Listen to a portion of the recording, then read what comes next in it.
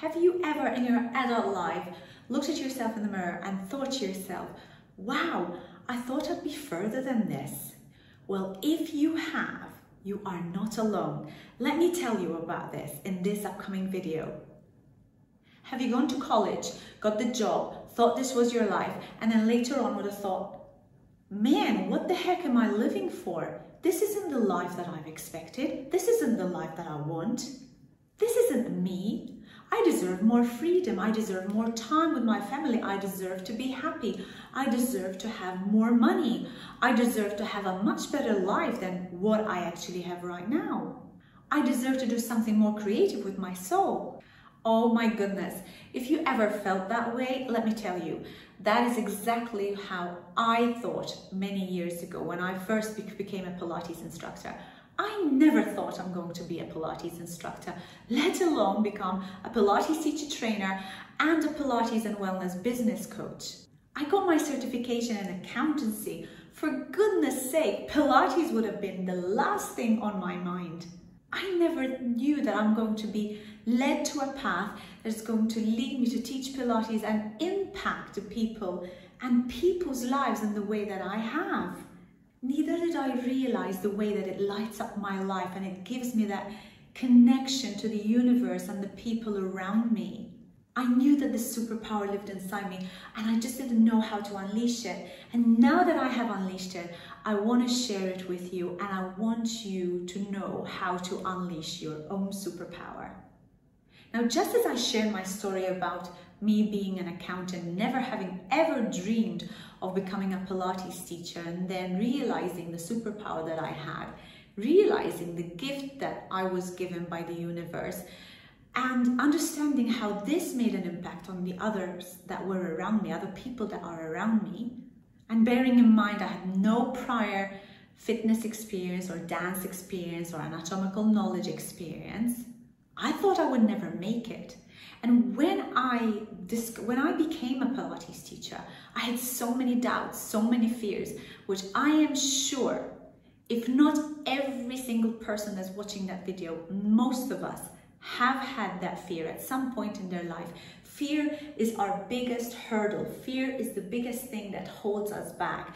Now, just as fear held you back from becoming a Pilates teacher or perhaps gave you that instability and insecurity in your mind that you can't make it, insecurity and doubt that perhaps you're never going to make it and you're not going to become a Pilates teacher, or that you're not going to be a good Pilates teacher. Every single person that comes through the doors, comes through your doors to do Pilates, has a similar fear. It might not be relative to becoming a Pilates teacher, but they have a fear, they have a pain, they have a doubt, they have insecurities. And just the same as you had insecurities about yourself becoming a teacher, they have insecurities about themselves, which they want you to help them with. Now, how can you dissipate this to those clients that come through to your doors? Now, by the way, if you're excited about what I'm talking about, you hit the like, subscribe, and please don't forget the bell so that you get notified every time I share a video online. So how do you dissipate this? How do you share this breakthrough that you've had of breaking through your own fear to become a Pilates teacher and relating this to your clients and helping them break through their own fear? There is a very simple answer. And the answer is to be as authentic and passionate about what you're doing and about what you're sharing with them. Okay, so this is something that I really want to share with you. When you are discussing, having conversations with your clients, you don't have to tell a perfect story. People want to hear the depth of your authenticity. They want to hear the depth of your compassion. They want to hear the depth of your individuality. So I don't have perfect English, I don't have perfect Spanish, but when I speak, I speak from my heart. And when I'm discussing situations with a client, when a client comes in through my doors with a pain, with a challenge, with a goal, I'm listening to them. I'm really hearing them out and I want to hear about all their pain, all their goals, and I give them the time. I give them that respect respect and responsibility to listen to their pain. And then when I'm talking to them and I'm, I'm conversing with them, I am there speaking directly from my heart and with passion and with compassion for them. And when they hear that I'm speaking from my heart, they know that there are no barriers. So then when you're telling your story, when you are having conversations with your clients and then you can perhaps relate to their pain and relate to their goals, then they're, they're going to understand that there's some kind of level of communication that they can relate to. So they'll be like, yeah, I can really relate to what you're saying. And this doesn't have to be your own story. So, so this is basically how I do it. So let's, for, for, for example, talk about a client who comes in with back pain, who comes into your, to your studio. They want to start Pilates with you. They're not quite sure. They're still fearful. They're still doubtful. They're still trying to gauge you out. They're still having questions about whether or not they should be coming to work with you. And how are you going to break the ice? You don't know this person from Adam, so you really need to be compassionate. You need to listen to their story. And then when you are relating their story to what you do, you give them your story. Now, your story doesn't have to be your own story. It can be your brother's story, your mother's story, your husband's story, your family story. It could be a client story that has revealed how you have worked with your client and now they're feeling so much better and it's been a success story, right? So if I've got, for example, a client who has come in with back pain, I'm going to relate to the client a situation that happened to me many, many moons ago. So when I was in my late teens and I was living in the UK, I had a whiplash accident. And I went to physios, medicals, medical people, I went to physios, chiros, osteos, and yeah, they gave me brief relief, but then the problem was never really solved. So then what happened was years later, a, few, a good few years later, I was living in Spain and I was seeing a chiropractor. And the chiropractor was cracking and cranking my neck and I was super fearful of what he was doing. And he could realize, and he actually figured out, he figured out himself that I wasn't comfortable with what he was doing to me. So he recommended that I start Pilates. So I'm saying this to my clients and I'm relating to them that I had pain, I had an injury, and then I went to see a professional who actually recommended that I start Pilates. And I started Pilates with this lady called Guadalupe Ruiz in Marbella in Spain. And Guadalupe, if you are watching this video, mwah, this video goes to you. I really dedicate it to you. So Guadalupe was so passionate about her work. She was so loving. She was so caring about her clients that she made me feel so welcome and wonderful. And I started practicing Pilates by just doing once a week. And then I started feeling the benefit of Pilates and then started going twice a week, three times a week to lo and behold, going every single day until I decided to take up the teacher training course. So I'm sharing the story with my client and I'm sharing how from my pain, Guadalupe was my bridge to get to the life that I wanted. And of course, with removing my pain, I gained better lifestyle, better health, and I don't need to explain all the benefits of Pilates to you guys, right? Because you guys are already Pilates teachers and I don't need to sell this to you.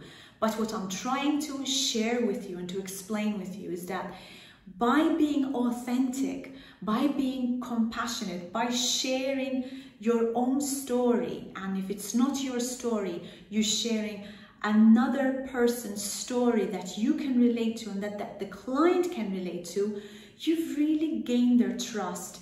You've gained their confidence to know that yes, this has helped you, or perhaps it's helped somebody else, and you are confident that you're going to help them cross that bridge to where they need to be. You see, so this is the strategy that I developed when I'm communicating with clients.